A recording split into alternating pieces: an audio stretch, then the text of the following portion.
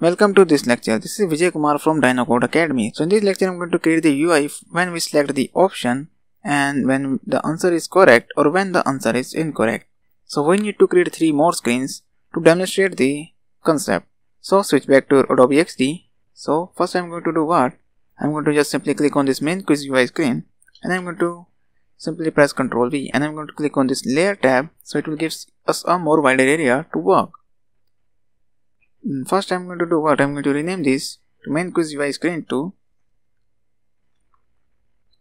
call it as when quiz option is selected.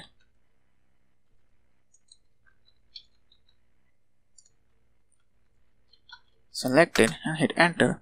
So what I'm going to do, I'm going to just simply click on this first one. So when the answer is selected, so I'm going to make it as little yellowish color. Means the fill I want little yellow. And that's okay. So I don't want a border.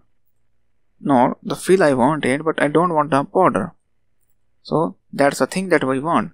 So I'm going to just switch between these two drawables when inside of the Android Studio to perform a blink animation. Means after one second it will change to default one then after one second it will change into this yellow one. So it will create the impact that the answer is in process. So I'm going to do the same with all of these options as well. I'm going to select this one. And again I'm going to select this one and just I've selected this one. And again I'm going to by pressing shift key select this one as well. And also this one. Then I'm going to fill it with the same color that is this one. And just remove the border. So it will make the selectable quiz screen option screen. So this is the whole design for the selectable quiz option. Again I'm going to copy it. Control V. So I'm going to get the when the answer is correct. So I'm going to type when quiz option option correct. Simply hit enter.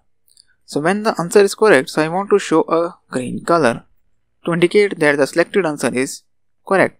So I'm going to click on this green color. That is one this one I'm going to click on pick tool, pick color tool and I want this one. And I also want the color of this little arrow to be the same as the timer green. So I'm going to click on this one again.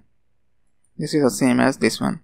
I'm going to select this all the three remaining our options design hit on this fill tab not the fill tab just click on this pick color tool and just color the same with the so this will be the option when our answer is correct, perform the blink animation and after that the blink animation, if the selected answer is correct, then it will show this green option with the drawable if I say in Android terms.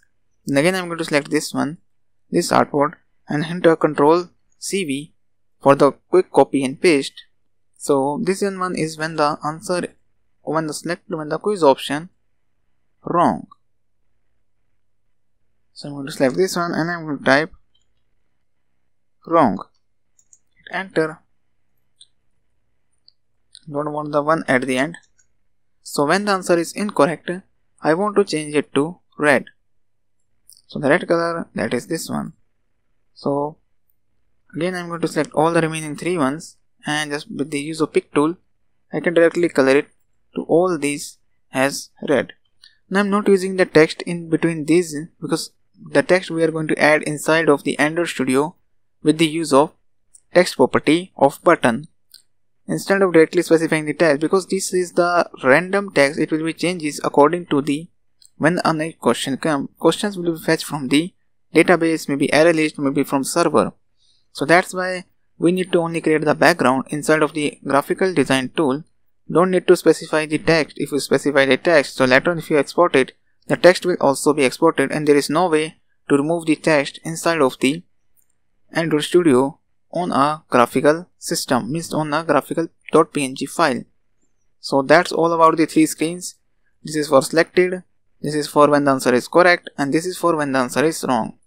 So I also want to add one more thing. If the timer goes 0 then what will be the result of this UI means this graphical element. So I'm going to click on this and I'm going to change the color to red when the timer reaches to 0.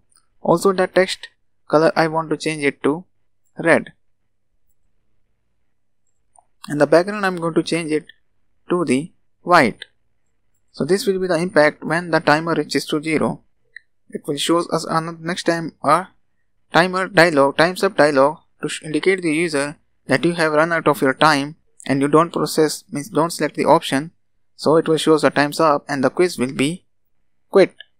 So we are going to do all these things in our next videos means in our next upcoming videos. The first we are going to create the times up dialog UI then the second we are going to create the another UI dialog when the user won the quiz and the another dialog that we need is a user lost the quiz. So all these three screens we are going to create in our upcoming videos. So for now that's it about this video.